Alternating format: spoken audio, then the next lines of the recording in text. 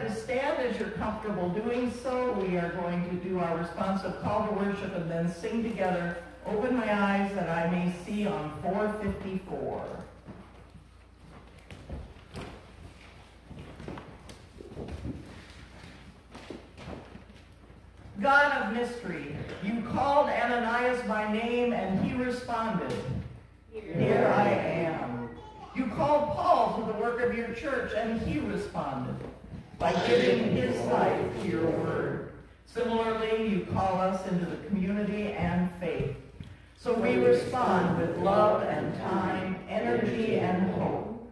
We respond with worship. Let us worship the God of transformation and grace. Amen. Open my eyes.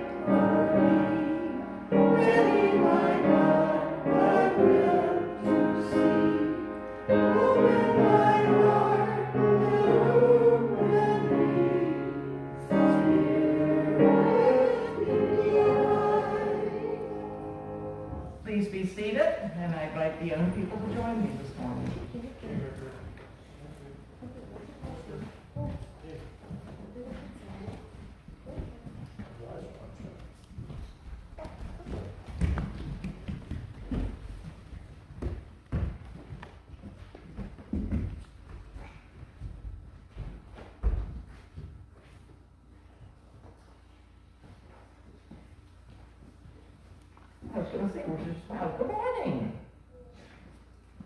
So I'm wondering if you all know how to play a game. If I do this and do this, what do you do? Peekaboo!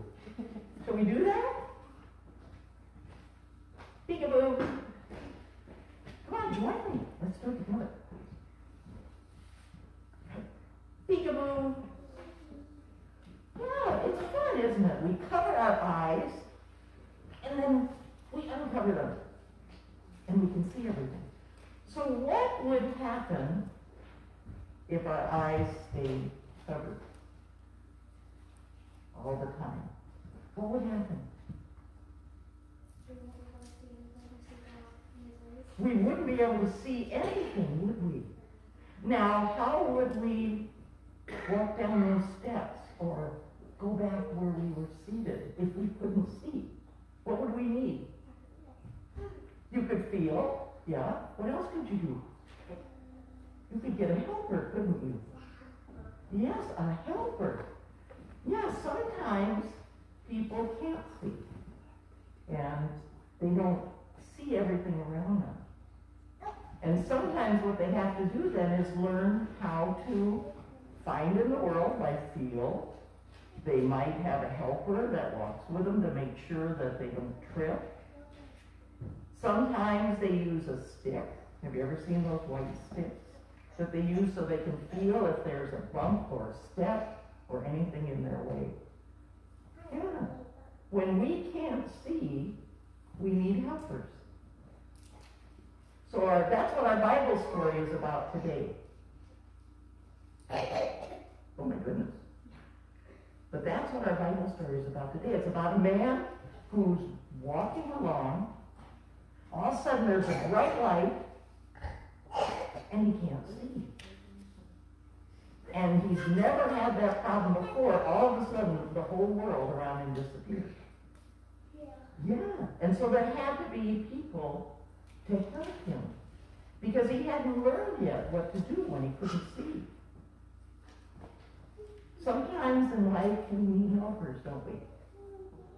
We need someone to help us through a difficult time. If we get a if we get an owie, we need somebody to help, don't we? Yeah. We need helpers in our lives. So today you can hear the story of a man who needed helpers until he could see again. And you know what? When he could see again, he became a helper. And he taught a lot of people about Jesus. Shall we pray about that? Okay, let's pray. Jesus, we need those helpers. And thank you that at our time of need, you provide them for us. Sometimes it's a difficult day. Sometimes it's something that overwhelms us. And sometimes it's something that needs help because it hurts or it's different. And so we thank you for all the helpers that come into our lives. And we thank you that you can take even the most difficult times in our lives to teach us and help us to love others. So thank you for helpers and thank you for letting us be helpers. And all God's children said, Amen. Amen. All right. Thank you all for coming up.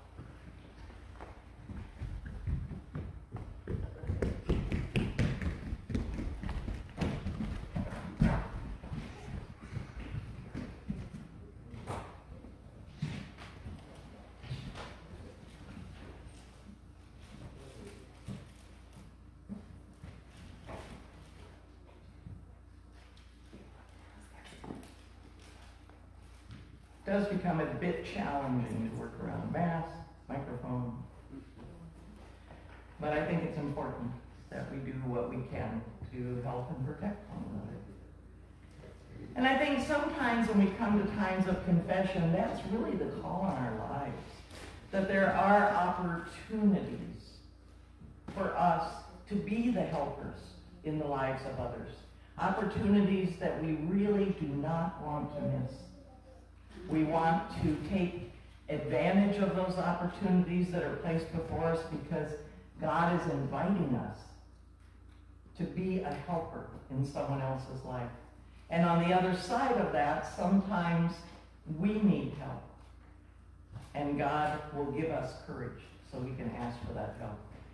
So let's join together in this responsive prayer of confession this morning, and then I'm just going to give you a few moments of silence just to reflect on your own life.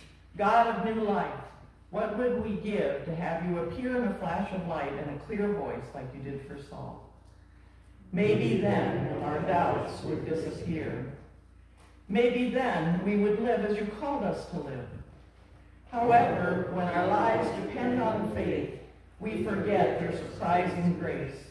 Instead, we draw lines around enemies and friends, who's in and who's out.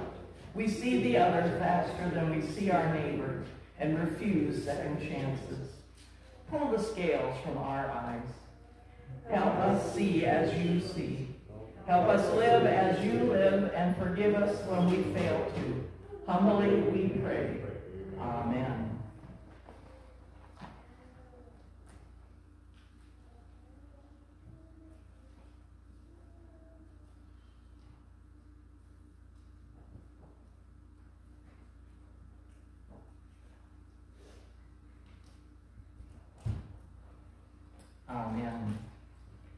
Join together in our affirmation.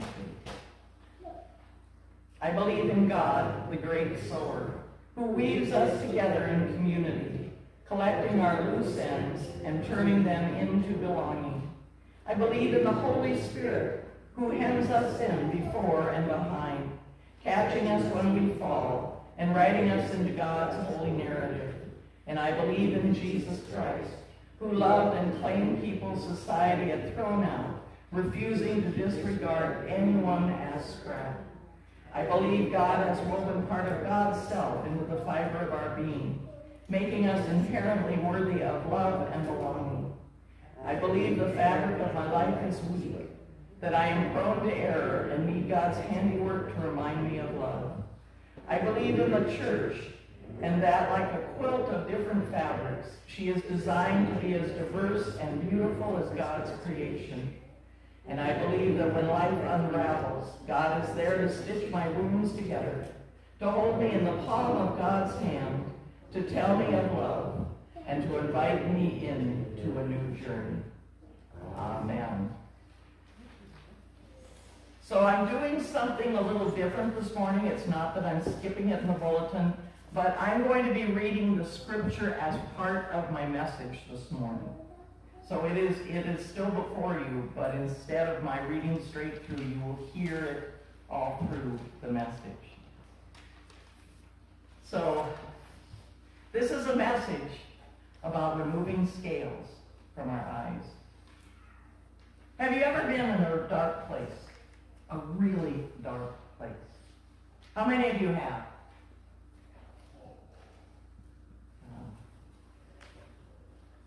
I can remember a time entering a cave. And you know how when you enter from the light to dark, your eyes have to adjust? I realized that it wasn't my eyes trying to adjust, it was really that dark. And the person who was guiding us did that intentionally. Brought us in and let us stand in that darkness in silence that was an entirely different experience for me because it almost felt like this darkness was thick and smothering.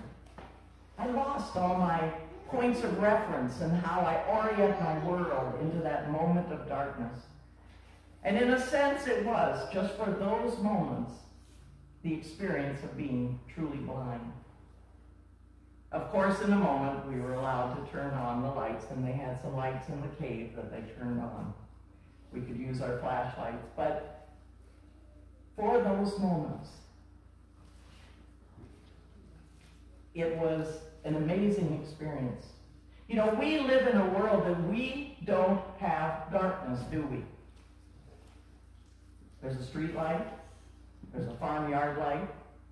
There's lights on in our homes all the time. And it, in many ways, it has upset our circadian rhythm in our lives because we don't have darkness. You know, think back, being a farming community, think back to the early days of farming. You farmed while it was light. And you went to bed when it was dark. We've lost that rhythm because there's always light.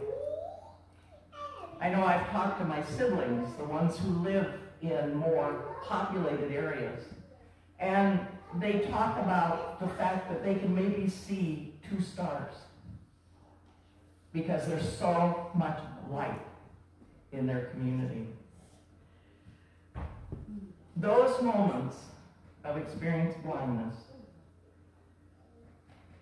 were unfamiliar.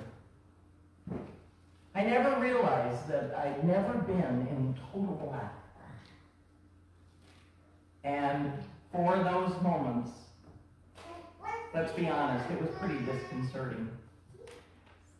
So I want you to think this morning about a time when you were walking in a very dark place. Maybe you've been in a cave like my story. Maybe you're walking in the woods and that tree canopy is so heavy that for those moments it feels as dark as night.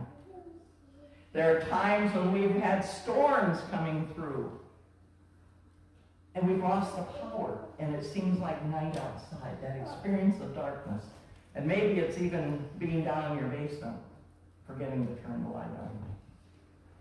Now imagine as you come out of that darkness, you enter a place of bright light, stepping outside. And maybe you look up and you look straight into the sun for just a brief moment. Feel when that happens? When you go from dark to light, how does that feel? Well, it's almost painful, isn't it? It's like you have to close your eyes for a minute, you have to blink for a minute, you have to adjust. In that moment, that time between darkness and light, that light can even blind and disorient us. In our story today, we encounter two men who had a moment like that. Both men were walking in a form of darkness, and both men had a disruptive encounter with the light. So let's start into our story to see what I'm talking about. And our book, our text is found in Acts. It's actually a story of four people. The first person is a man named Saul. Well, in Acts, we have encountered Saul back in chapter 7.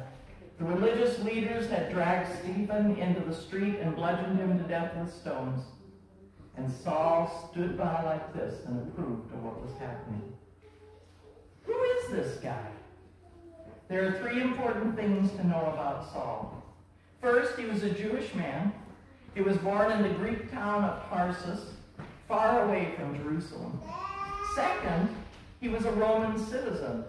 That was very rare for a Jewish man. Third, he chose to move to Jerusalem and train as a Pharisee.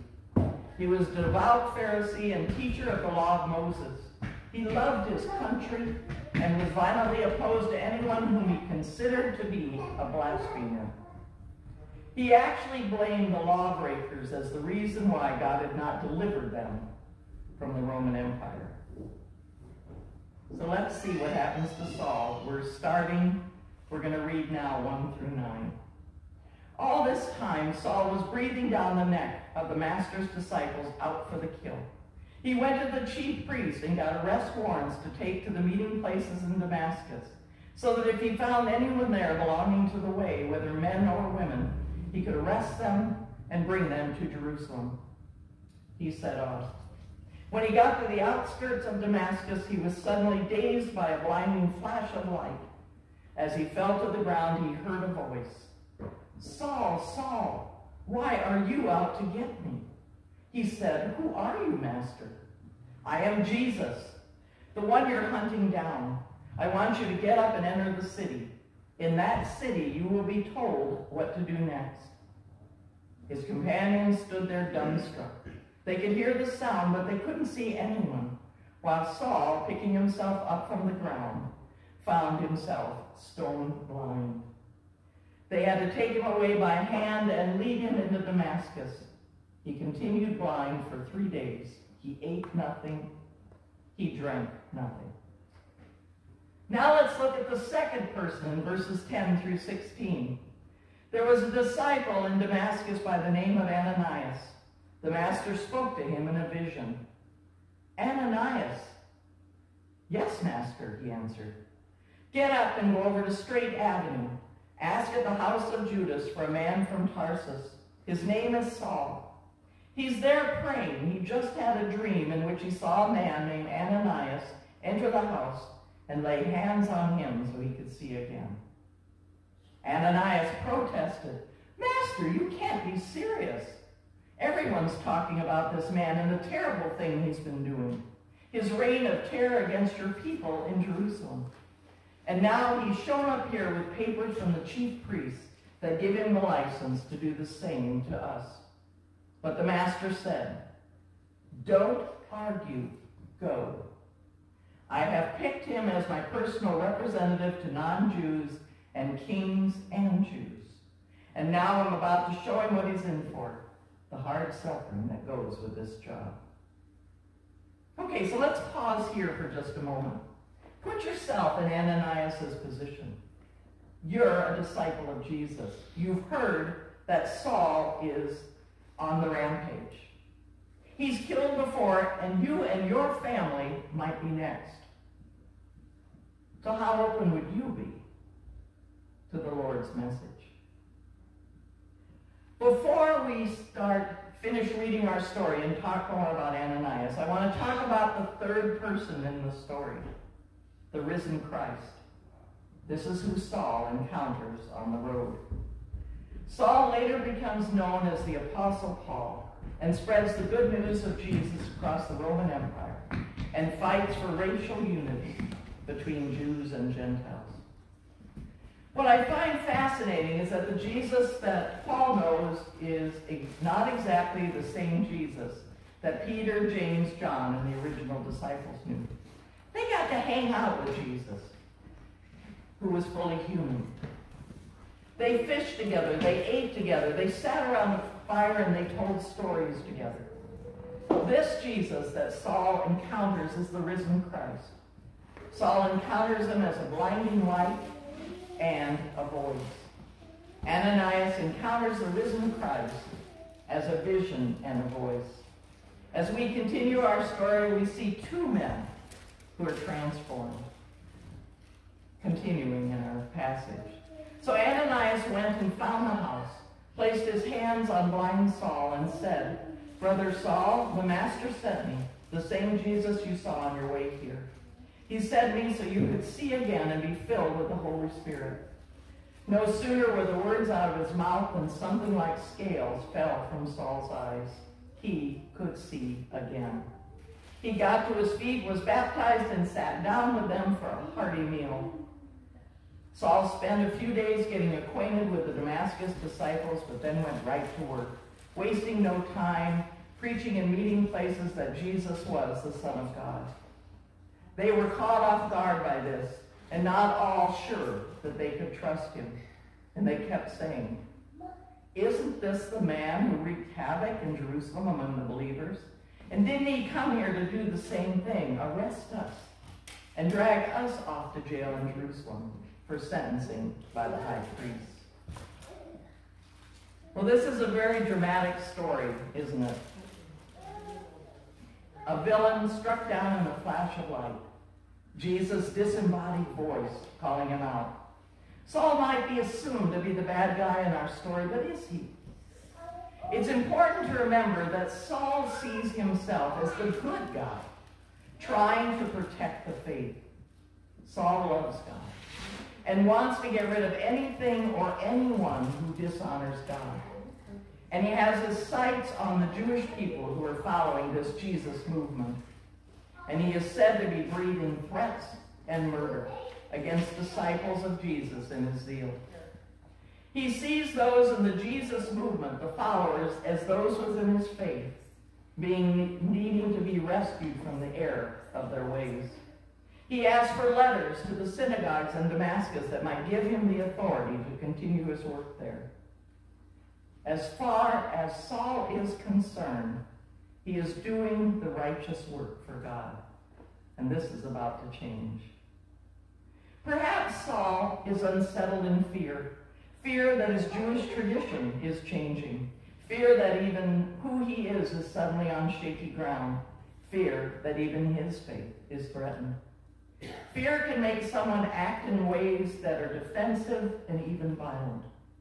And as he goes on his way carrying his letters that will authorize his continued reign of terror, that's when, in that moment, that this flash of light blinds him and he falls to the ground in fear.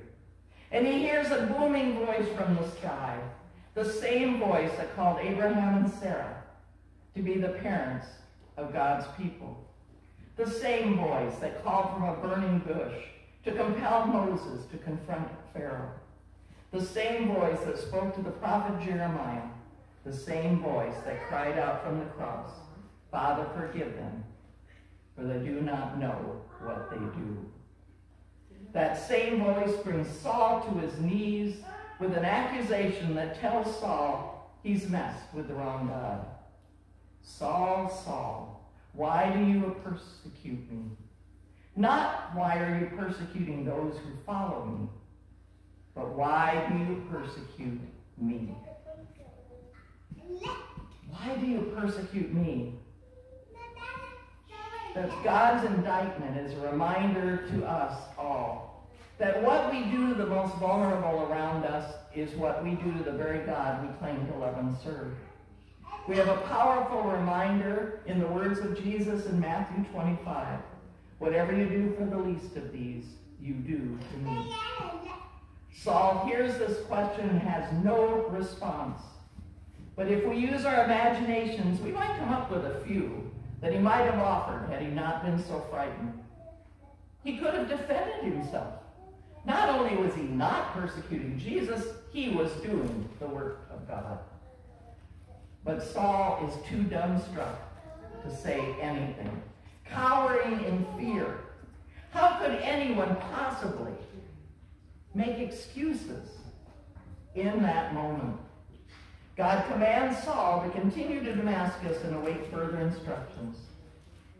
And at this point in the narrative, Saul is utterly and completely helpless. First of all, he's totally blind.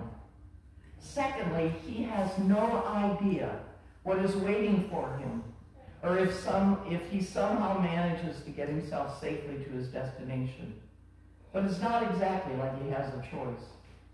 He's blind with nothing but the kindness of traveling companions to guide him. The man who had been the one to be feared is now a helpless creature stumbling around blindly, being led by the hands of his inferiors. Saul, who had been the number one predator of the Jesus movement, is now heading to the house of one of the followers of Jesus, vulnerable and exposed. He gets to the house in Damascus and finds not horror, but hospitality.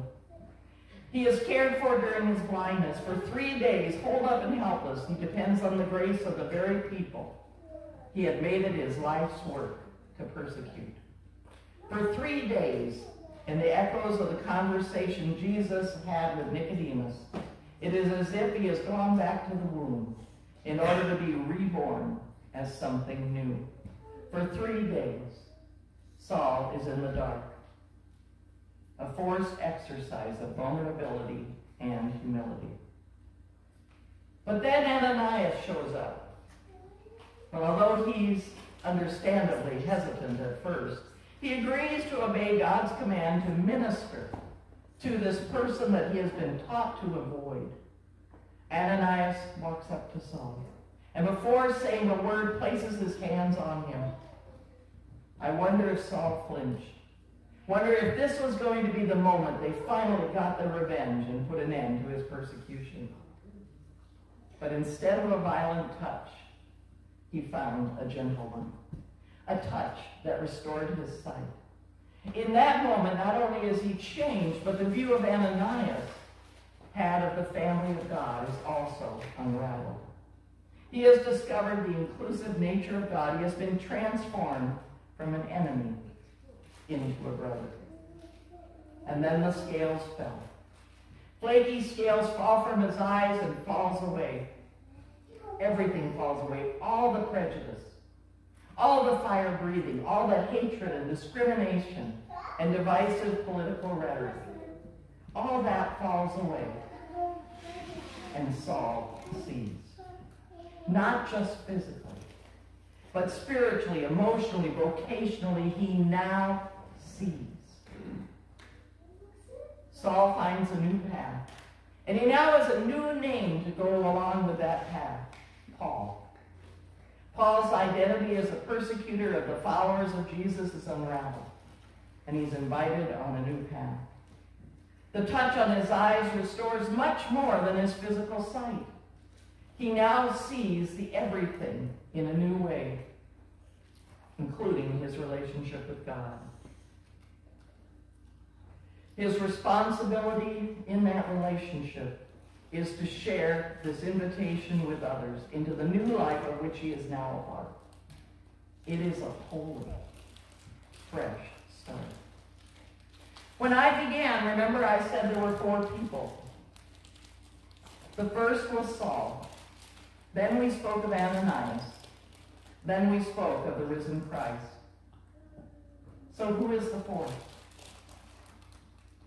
We are. We are the fourth. So the question for us today is what are the shadows in which we hide? What are the reasons that cause us to see a person that is different from us and live in fear and hatred? What needs to be unraveled so we can see and love as Jesus does?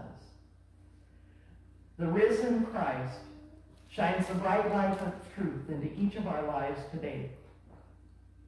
That light drives away the shadows and exposes the truth that all people, everyone, all people, are children of God. And the good news that Jesus brings is for all people. The good news disrupts our systems that divide and judge and calls us into the scary and difficult world of reaching out beyond the boundaries and seeking reconciliation and ways to say, brother, sister, in Christ we are one. Amen. Let us pray.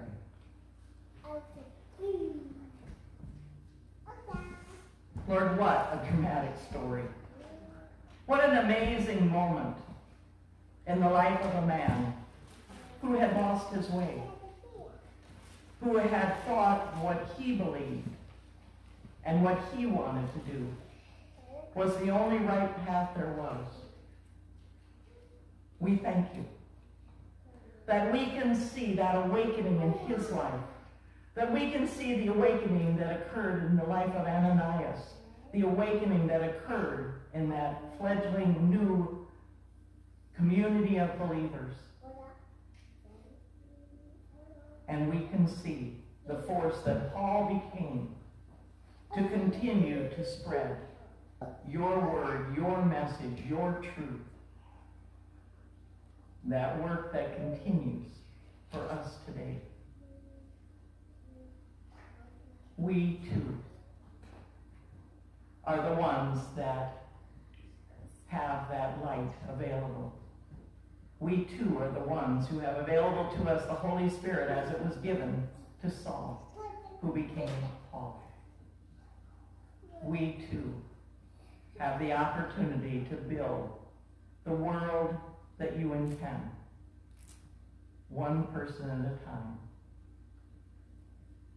Lord, we thank you because our lives are so good, so different, so empowered because of you. Amen.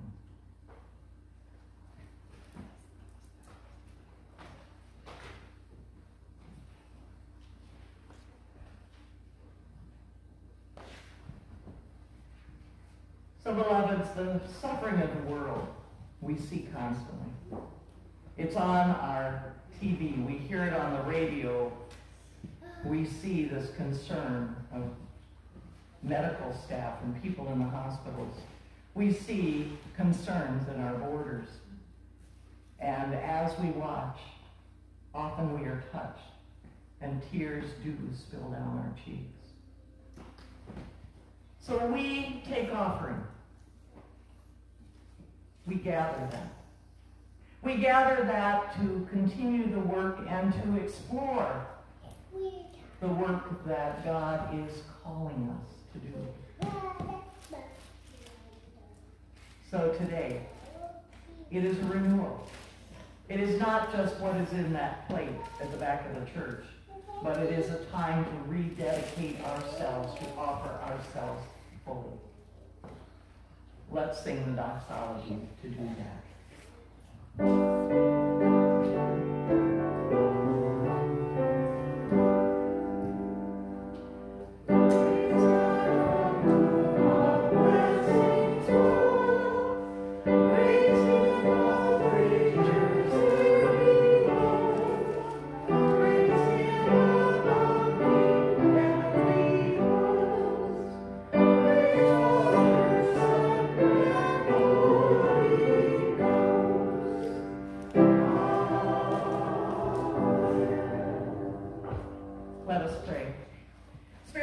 Living God, may our offerings connect us with the wide network of communities doing what they can with the resources of the hand to bring about your kingdom. That all may have enough and live without fear. Bless our offerings, bless us, and accompany us in our efforts. Amen. Well, as we come to a time of prayer, I think we can celebrate with joy the party yesterday. What what a joy. And and you know, I think so much of Karen and the whole family, thinking that she had scheduled this two years ago when he was here, uh, Brad Boyce, and how much life has changed for that family in that time. So to me, it was a moment of celebration of her life but I think it was something that called community together because we need joy in our lives as well. I know that I kind of entered that time with a little bit of a heavy heart, and I left just feeling some buoyancy and a little joy in a moment that we could share in community. And it wasn't, the music was fantastic. It wasn't half bad to watch Karen dancing. That was fantastic.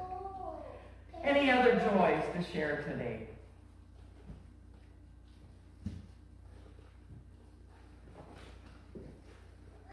All right.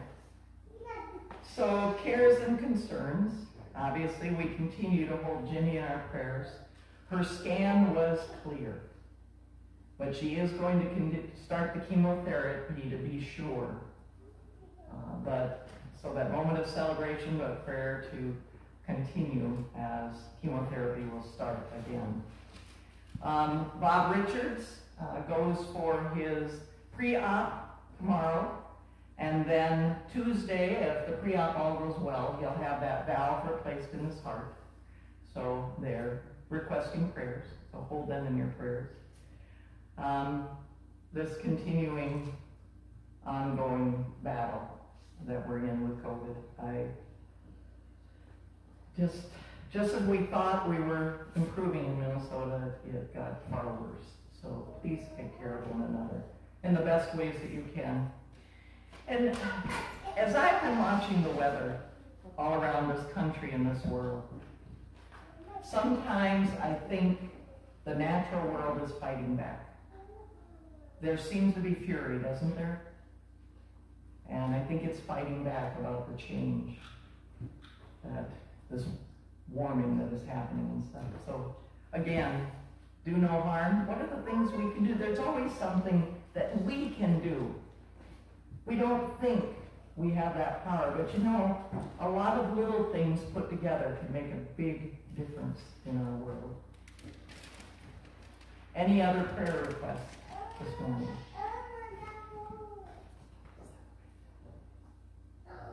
All right, let us pray.